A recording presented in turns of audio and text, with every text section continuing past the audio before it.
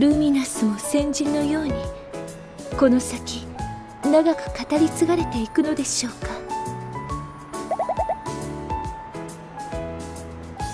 この国この場所で芸をなりわいとしていたはるか昔の先人たちです。江戸では歌舞伎が流行していて人気の役者を描いた浮世絵がよく売れたそうですね。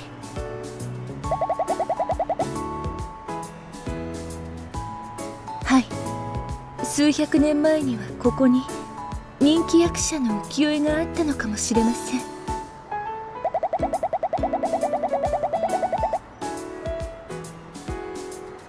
私たちもやがて偉大なる先人に並び立てればと考えてしまいます。おこがましいでしょうか。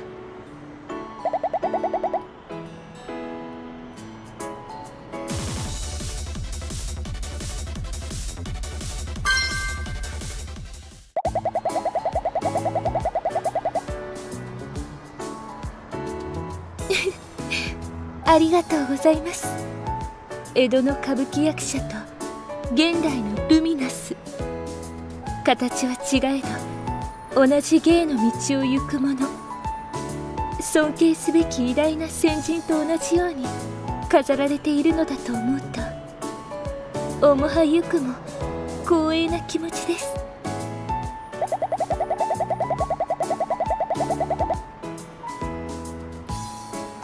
プロデューサーらしいお言葉です。そんな方だからこそ私も期待に応えたいと思うのです。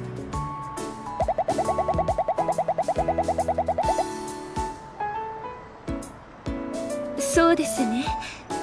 蔦屋十三郎という方があまたの創作に関わっていたとか江戸の絵師を集めて役者の絵を描かせるだけでなく現代でいう漫画のようなものを作っていたそうです。とても独創的な方だったのでしょうね。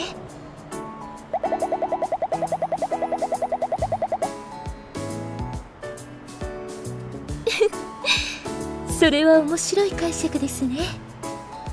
プロデューサーも独創的なお方かと。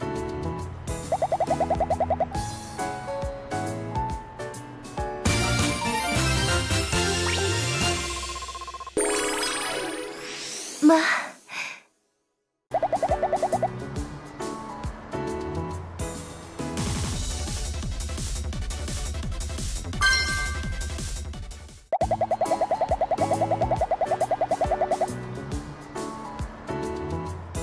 数百年前の歌舞伎役者と今の私たちを比べるのはやはり見当外れでしょうか？プロデューサーを困惑させてしまったようですね。そんなに悩まなくてもよかったのですがその誠実なところがプロデューサーの美徳なのでしょう。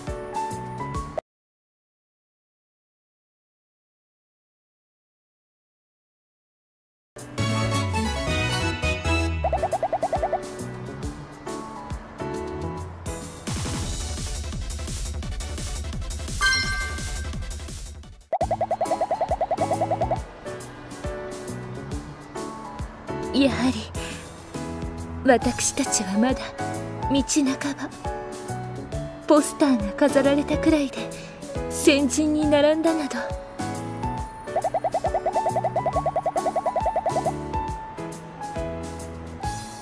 少し遠い過去と私たちを重ねてしまいました。申し訳ありません。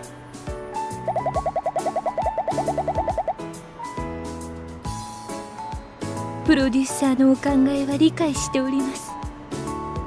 私がただ千両でした。